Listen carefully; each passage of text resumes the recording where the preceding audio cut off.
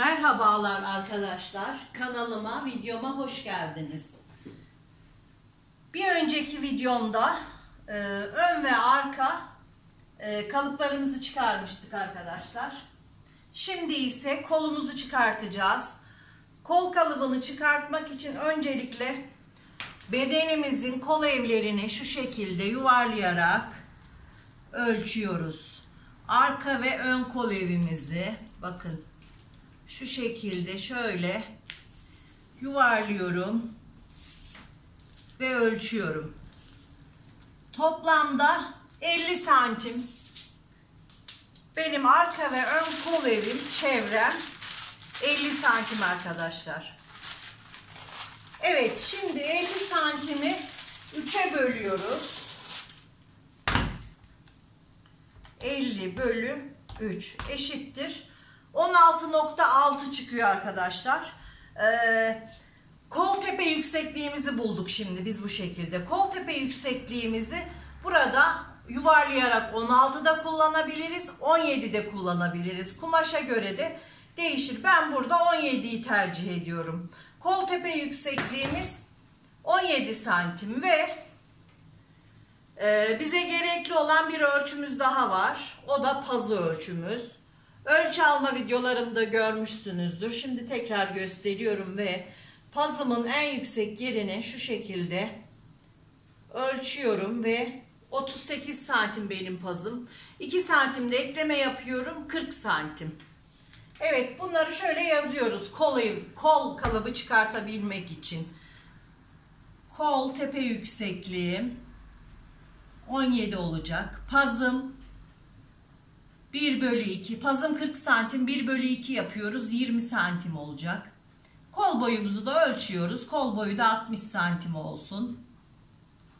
Bu şekilde kol kalıbımızı çıkartacağız. Şimdi ben kağıdımı alıyorum.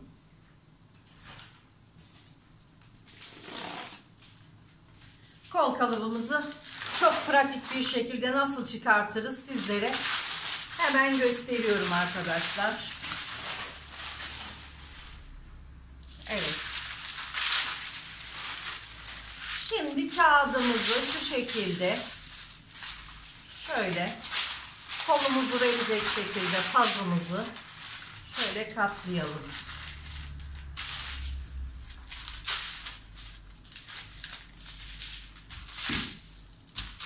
Evet ben kağıdım kaymasın diye şöyle ağırlığımı da koyayım.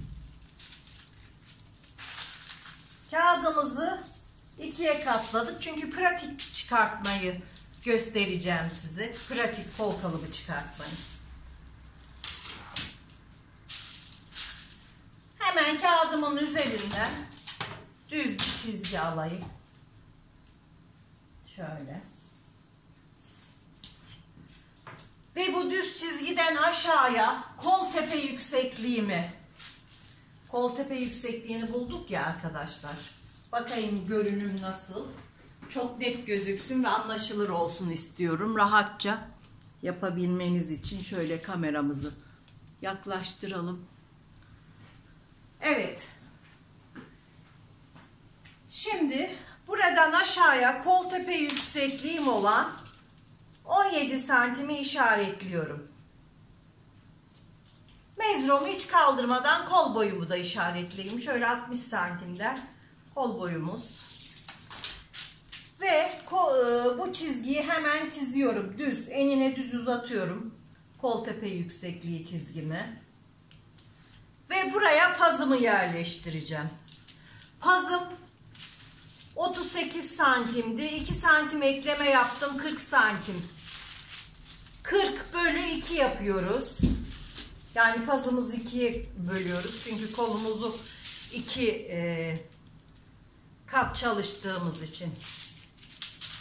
Burada 20 santimi işaretliyorum. Ve manşetimizi de yapacağımız modele göre değişir. Şöyle ölçüyoruz. Bakın şöyle. Ölçüyoruz ve aşağıya doğru böyle rahatça inecek şekilde ayarlıyoruz. Bakın bileğimi ölçüyorum ve elimden şöyle rahatça çıkabilecek şekilde benim pazım e, bile manşet ölçüm 25 santim. Bölü 2 yapıyorum 12,5 santim. Hemen şuraya kol boyuma çiziyorum. Ve 12,5 santimi buradan işaretliyorum. Bu manşet ölçüsü modele göre değişir. Fakat biz şimdi temel bas kalıbımızı yani basit bir şekilde nasıl kol kalıbı çıkartırız onu anlatıyorum. Evet. Şimdi şuradan bir miktar içeri giriyoruz. 1-2 santim kadar kol tepesinden. Ve burayı şurayla birleştiriyoruz. Ve burayı ölçüyoruz. Hemen ölçtüm ve 25 santim geldi. Bunu dörde bölüyoruz. Burayı dörde bölüyoruz. 25 bölü 4 eşittir 6.25 çıkıyor. Şöyle işaretliyorum. 6.25 6.25 6.25 Evet arkadaşlar gördüğünüz gibi burayı dörde böldük. 1, 2, 3 ve 4. Şimdi buradan dördüncü yerimizden e, tepeye en yakın yerden yüksekten 2 santim dışarı işaret alıyorum. Bir sonrakinden 1 santim şöyle bir buçuk santim bir bir buçuk gibi işaret alıyorum. Ve son e, işaretimden içeriye bir santim giriyorum.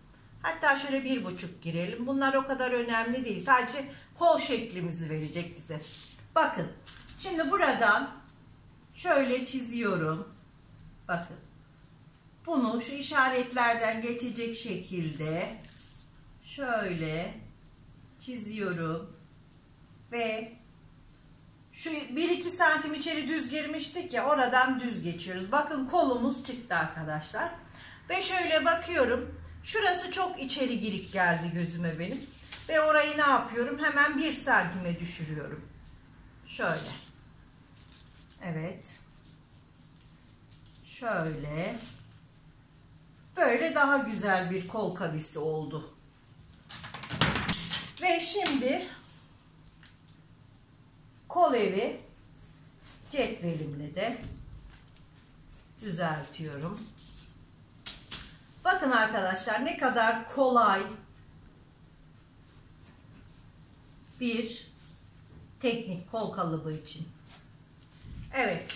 Şimdi e, burası arka olarak çıktı arkadaşlar. Yani iki, iki kat yaptık. Hemen kağıdımı açıyorum. Açmadan şöyle çizgilerimi arkaya geçireceğim. Yani ben size pratik olsun diye bu şekilde gösteriyorum. Herkes yapabilsin diye. Evet. Şimdi bu çizgileri hemen arkaya geçiriyorum. Kol çizgilerimi.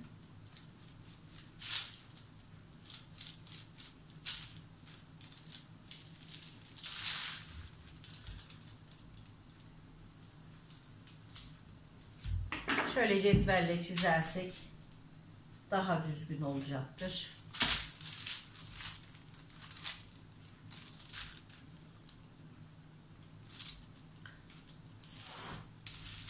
Hazımızı da çizelim. Evet. Şimdi kol kalıbımı açıyorum. Bakın. Gördüğünüz gibi bütün bir kol kalıbı çok basit bir şekilde çıktı ortaya.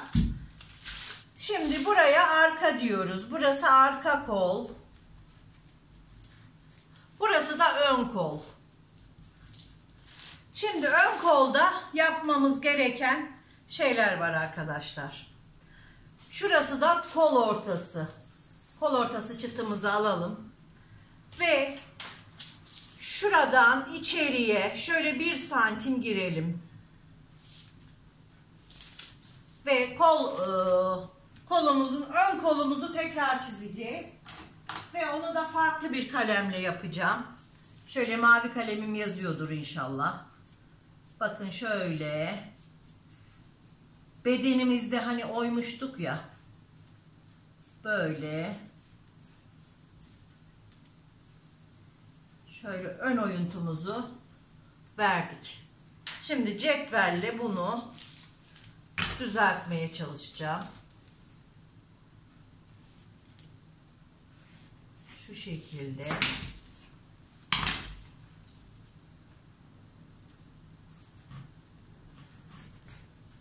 Ve şöyle. Evet gördüğünüz gibi kol kalıbımızda çıktı. Ve ben hemen kol kalıbımı kesiyorum. Dış kenarlarından kesiyorum ve e, dikiş payları yok arkadaşlar. Dikiş paylarını daha sonra vereceğiz. Bu temel baz kalıp.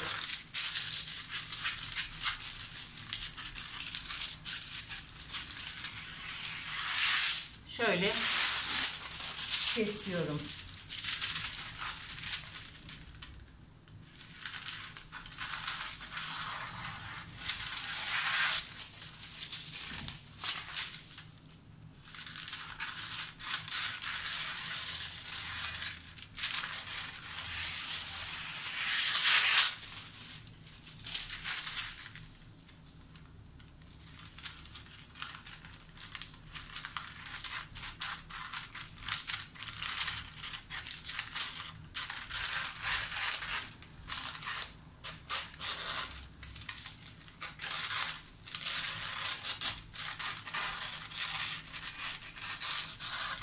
Evet.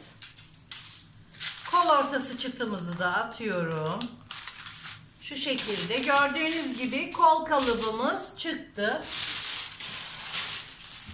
Evet arkadaşlar bakın. Ön, arka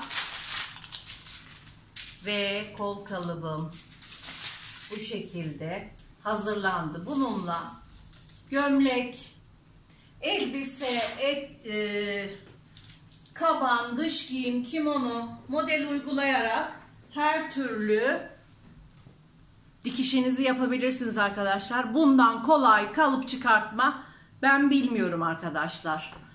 Evet arkadaşlar hoşça kalın, sağlıkla kalın. Bir sonraki videoda görüşmek üzere.